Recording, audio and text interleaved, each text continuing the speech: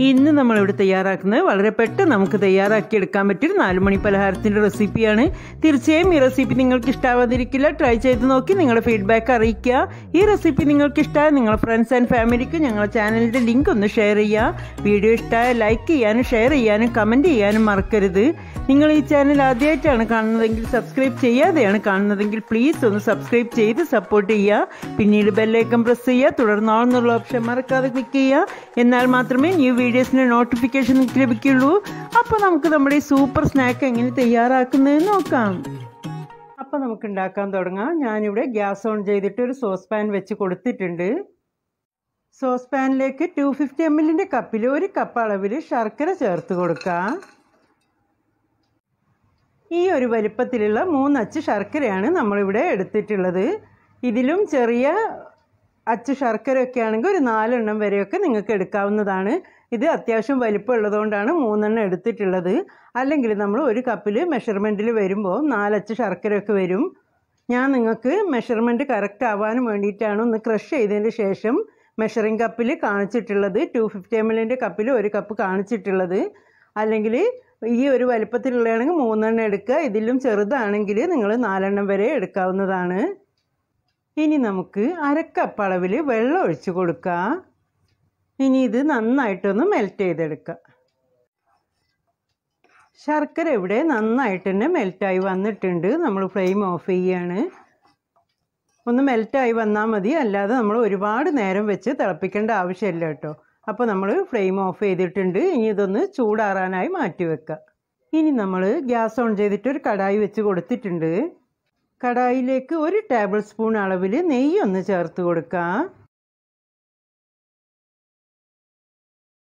ചൂടായ നെയ്യിലേക്ക് കാൽ കപ്പ് അളവിൽ തേങ്ങാക്കൊത്ത് ഒന്ന് ചേർത്ത് കൊടുക്കുക തേങ്ങാക്കൊത്ത് ജസ്റ്റ് ഒന്ന് റോസ്റ്റ് ചെയ്തെടുക്കാം.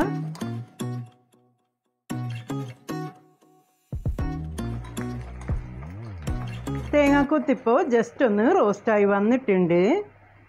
ഇനി നമുക്ക് രണ്ട് ടേബിൾ സ്പൂൺ അളവിൽ കാഷ്നട്ട് ചെറുതായിട്ടൊന്ന് കട്ട് ചെയ്തതാണ് അതൊന്ന് ചേർത്ത് കൊടുക്കാം. രണ്ട് ടേബിൾ സ്പൂൺ അളവിൽ കിസ്മിസും എടുത്തിട്ടുണ്ട്. അതുകൂടെ ചേർത്ത് കൊടുക്കാം. ഇനി ജസ്റ്റ് ഒന്നുകൂടെ ഒന്ന് റോസ്റ്റ് ചെയ്തെടുക്കുക.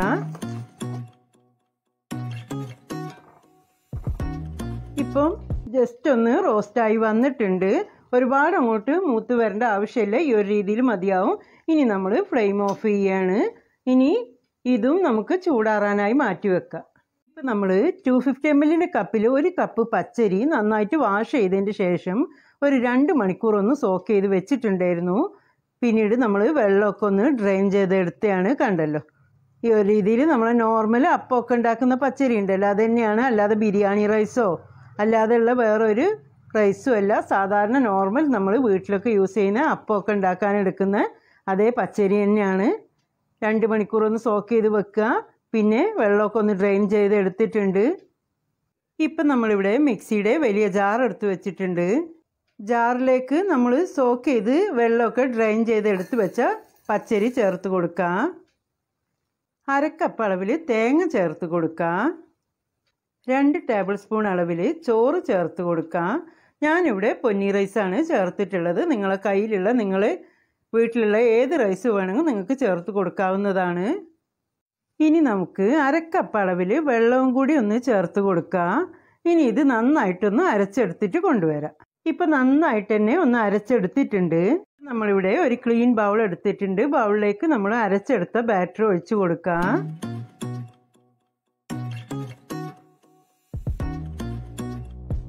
ഇനി നമുക്ക് ഒരു സ്ട്രെയിനർ വെച്ച് കൊടുക്കാം. അതിനുശേഷം നമ്മൾ മെൽറ്റ് ചെയ്ത് മാറ്റി വെച്ച ശർക്കര ഒഴിച്ചു കൊടുക്കാം. ശർക്കര നിങ്ങൾ എപ്പോഴും ഒഴിക്കുമ്പോൾ അരിച്ചിട്ട് തന്നെ ഒഴിക്കാൻ ശ്രദ്ധിക്കുക. മണ്ണും കരടൊക്കെ ഉണ്ടാവും. അതുകൊണ്ടാണ് അരിച്ചെടുക്കണമെന്ന് പറയുന്നത് കണ്ടല്ലോ. ഇനി നന്നായിട്ടൊന്ന് മിക്സ് ചെയ്ത് കൊടുക്കുക.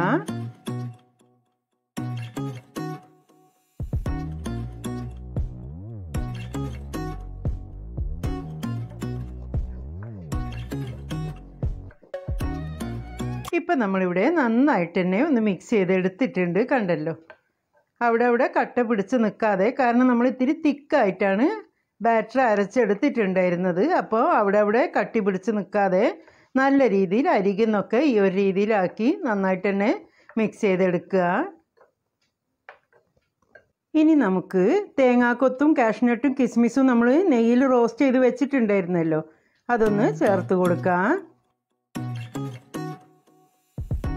മൊത്തത്തിലൊന്ന് ബാലൻസ് ചെയ്യാനായിട്ട് ഒരു ടേബിൾ സ്പൂൺ അളവിൽ പഞ്ചസാര ചേർത്ത് കൊടുക്കുന്നുണ്ട്. ഇത് തികച്ചും ഓപ്ഷണലാണ് നിങ്ങൾക്ക് താല്പര്യമില്ലെങ്കിൽ തീർച്ചയായും സ്കിപ്പ് ചെയ്യാവുന്നതാണ്.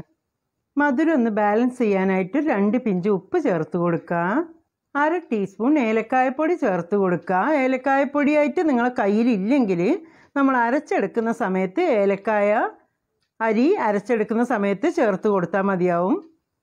കാൽ ടീസ്പൂൺ അളവിൽ ബേക്കിംഗ് സോഡ ചേർത്ത് കൊടുക്കുക ഇനി ഇത് നന്നായിട്ടൊന്ന് മിക്സ് ചെയ്ത് കൊടുക്കുക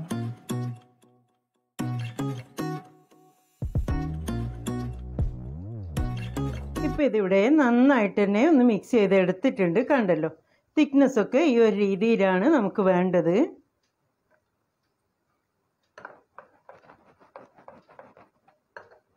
അപ്പോൾ നമ്മളെ ബാറ്ററി റെഡി ആയിട്ടുണ്ട്. ഇപ്പം നമ്മളിത് സ്റ്റീം ചെയ്തെടുക്കുകയാണ് ചെയ്യുന്നത്. സ്റ്റീം ചെയ്യാനായിട്ട് ഞാനിവിടെ എടുത്തിട്ടുള്ളത് നമ്മളെ വീടുകളിലൊക്കെ സാധാരണയായിട്ട് ഉണ്ടാകുന്ന കുട്ടി കുട്ടി ബൗളുകളാണ്. ഏത് ടൈപ്പ് ബൗളുകളും നമുക്ക് എടുക്കാവുന്നതാണ്. അപ്പോൾ പ്രത്യേകിച്ചുള്ള മോൾഡ് ഒന്നും ഇല്ലെങ്കിലും നിങ്ങൾക്ക് ഇങ്ങനെയുള്ള കാര്യങ്ങളൊക്കെ ഉണ്ടാക്കി എടുക്കാവുന്നതാണ്. ഇങ്ങനെയുള്ള കുട്ടി കുട്ടി ബൗളുണ്ടല്ലോ ഇതെടുക്കുക.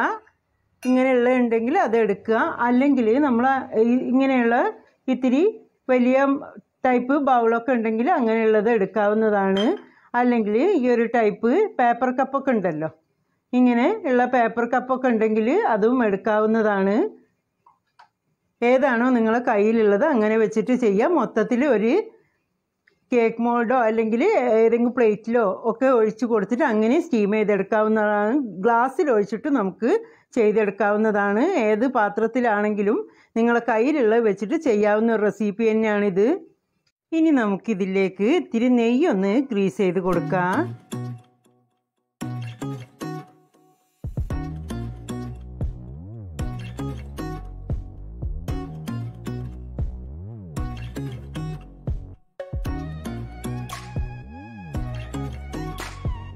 ഇനി നമുക്ക് നമ്മളെ ബാറ്ററി നന്നായിട്ടൊന്ന് തവി വെച്ച് മിക്സ് ചെയ്ത് കൊടുത്തതിന് ശേഷം ഓരോ തവി ബാറ്ററി ഒഴിച്ചു കൊടുക്കാം.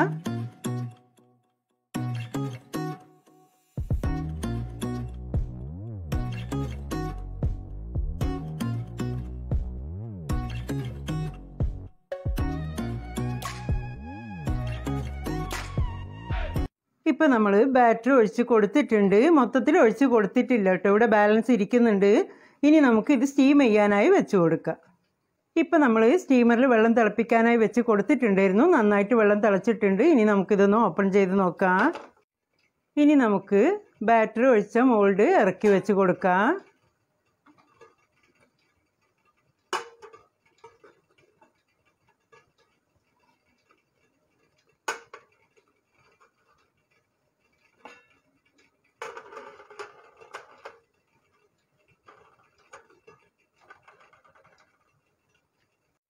ഇനി നമുക്ക് അടച്ച് വെച്ചിട്ട് മീഡിയം ഫ്ലെയിമിൽ ഇരുപത്തഞ്ച് മിനിറ്റ് ഒന്ന് സ്റ്റീം ചെയ്തെടുക്കുക. അതിനുശേഷം ഞാൻ നിങ്ങളെ കാണിക്കാം. ഇപ്പം ഇവിടെ ഇരുപത്തഞ്ച് മിനിറ്റ് ആയിട്ടുണ്ട്. ഇനി നമുക്കിതൊന്ന് ഓപ്പൺ ചെയ്ത് നോക്കാം. ഇനി നമുക്ക് കറക്റ്റ് കുക്കായിട്ടുണ്ടോ എന്നുള്ളത് നോക്കാനായിട്ട് സെന്ററിലായിട്ടൊന്ന് കുത്തി നോക്കാം. ഒരു സ്റ്റോറോ പപ്പടക്കോലോ ടൂത്ത് പിക്കോ എന്തേലും കൊണ്ടൊന്ന് കുത്തി നോക്കുക. കണ്ടല്ലോ നിങ്ങൾ ക്ലീനായി വന്നിട്ടുണ്ട്. അപ്പം നമ്മൾ ഫ്ലെയിം ഓഫ് ചെയ്യുകയാണ് ഇനി ഇതിൽ നിന്ന് എടുത്ത് മാറ്റിയിട്ട് ചൂടാറാനായി വെക്കുക അതിനുശേഷം ഇതേ മെത്തേഡിൽ ബാലൻസ് ഉള്ളത് ചെയ്തെടുക്കുക മൊത്തത്തിൽ ചെയ്തെടുത്തതിന് ശേഷം ഞാൻ നിങ്ങളെ കാണിക്കാം. നമ്മൾ സ്നാക്ക് മൊത്തത്തിൽ സ്റ്റീം ചെയ്തെടുത്തിട്ടുണ്ട്. ഞാൻ ആദ്യം ഇങ്ങനെ നാലെണ്ണാണ് ചെയ്തിട്ടുണ്ടായിരുന്നത്. പിന്നീട് സെക്കൻഡ് ബാച്ച് ഞാൻ നിങ്ങളെ കാണിച്ചിട്ടുണ്ടായിരുന്നല്ലോ ബൗൾ ഇങ്ങനെയുള്ള ബൗൾ രണ്ടെണ്ണം ഇങ്ങനെ ചെയ്തു. പിന്നെ അതേപോലെ തന്നെ പേപ്പർ കപ്പ് കാണിച്ചിട്ടുണ്ടായിരുന്നല്ലോ പേപ്പർ കപ്പിലും രണ്ടെണ്ണം ചെയ്തിട്ടുണ്ട്. ഇതൊക്കെ നിങ്ങളെ കാണിക്കാനും വേണ്ടിയിട്ടാണ് ഈ ഒരു രീതിയിലൊക്കെ ചെയ്തിട്ടുള്ളത്. കാരണം ഈ ഒരു രീതിയിലൊക്കെ നിങ്ങൾക്ക് ചെയ്തെടുക്കാമെന്ന് കാണിക്കാനും വേണ്ടിയിട്ടാണ്. അപ്പോൾ കണ്ടല്ലോ ഇങ്ങനെയൊക്കെ ഏത് ബൗളിൽ വേണമെങ്കിൽ നമുക്ക് ചെയ്തെടുക്കാവുന്നതാണ്. പിന്നെ നന്നായിട്ട് ചൂടാറി വരുമ്പോൾ തന്നെ നിങ്ങൾക്ക് കാണുന്നുണ്ടാവും. നമ്മൾ അരികൊന്നും വിടുവിച്ച് കൊടുക്കേണ്ട ആവശ്യമില്ല. സ്റ്റീം ചെയ്തെടുക്കുന്ന കാര്യങ്ങളൊക്കെ ഇങ്ങനെ തന്നെയാണ് കണ്ടല്ലോ? നന്നായിട്ട് ചൂടാറി വരുമ്പോൾ അരികുന്നൊക്കെ അങ്ങനെ വിട്ടുവരും നമ്മൾ ഇങ്ങനെ ഒന്ന് ആക്കി കൊടുക്കുമ്പോൾ തന്നെ നന്നായിട്ട് വിട്ടുവരും പിന്നെ അങ്ങനെ വന്നിട്ടില്ലെങ്കിൽ മാത്രം നിങ്ങൾ കത്തിയോ സ്പൂണോ വെച്ചിട്ട് അരികുന്നൊക്കെ വെടിവെച്ച് കൊടുത്താൽ മതിയാവും. ഇനി നമുക്ക് നമ്മുടെ സ്നാക്ക് ഓരോന്നായിട്ട് ഡീമോൾഡ് ചെയ്തെടുക്കാം. ഇങ്ങനെ കൊട്ടി കൊടുക്കുമ്പോൾ തന്നെ കയ്യിലേക്ക് വരും കേട്ടോ കണ്ടല്ലോ? ഈ ഒരു രീതിയിലാണ്.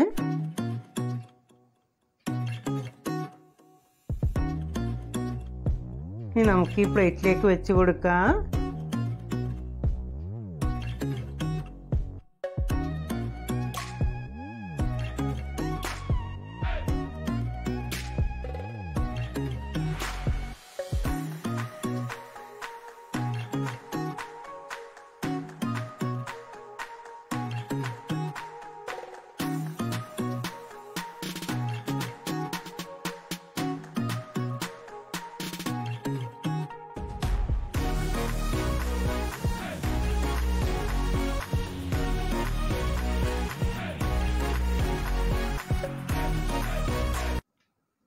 അപ്പോൾ നിങ്ങൾ കണ്ടല്ലോ പച്ചരിയും തേങ്ങയും ശർക്കരയും വെച്ചിട്ട് നമുക്ക് ഈസി ആയിട്ട് തയ്യാറാക്കിയെടുക്കാൻ പറ്റിയ ഹെൽത്തി സ്നാക്ക് തന്നെയാണിത്.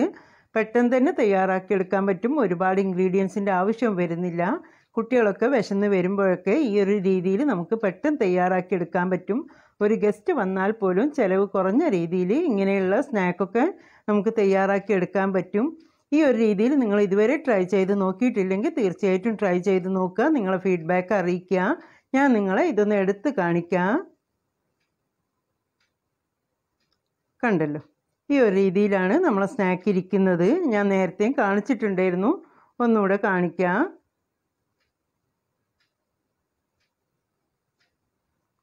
ഇങ്ങനെയാണ് ഇതിന്റെ അടിവശമൊക്കെ ഇരിക്കുന്നത്. കാണാൻ തന്നെ നല്ല ഭംഗിയാണ്. അതേപോലെ തന്നെയാണ് കഴിക്കാനും നല്ല സൂപ്പർ ടേസ്റ്റ് തന്നെയാണ്. തീർച്ചയായിട്ടും നിങ്ങൾ ട്രൈ ചെയ്ത് നോക്കുക. നല്ല സോഫ്റ്റ് ആയിട്ടുള്ള സ്നാക്കാണ് ട്രൈ ചെയ്ത് നോക്കി നിങ്ങളുടെ ഫീഡ്ബാക്ക് അറിയിക്കുക. റെസിപ്പിയെക്കുറിച്ച് നിങ്ങൾക്ക് ഡൗട്ട്സ് വല്ലതും ഉണ്ടെങ്കിൽ തീർച്ചയായും ചോദിക്കാവുന്നതാണ്. റിപ്ലൈ തരുന്നതായിരിക്കും. ഞങ്ങളെ മുൻപത്തെ വീഡിയോസൊക്കെ കണ്ട് അതിന്റെയും കൂടി ഒന്ന് കമൻസ് അറിയിക്കുക. ഈ വീഡിയോ നിങ്ങൾക്ക് ഇഷ്ടമാവുകയാണെങ്കിൽ ലൈക്ക് ബട്ടൺ പ്രസ് ചെയ്യാൻ മറന്നു പോരുത് ഇതുവരെ തന്ന നല്ല സപ്പോർട്ട് വീണ്ടും പ്രതീക്ഷിക്കുകയാണ്. നിങ്ങൾക്ക് ഇഷ്ടമാകുന്ന നല്ലൊരു റെസിപ്പിയായി വീണ്ടും നിങ്ങളുടെ മുന്നിലെത്താം. Thank you.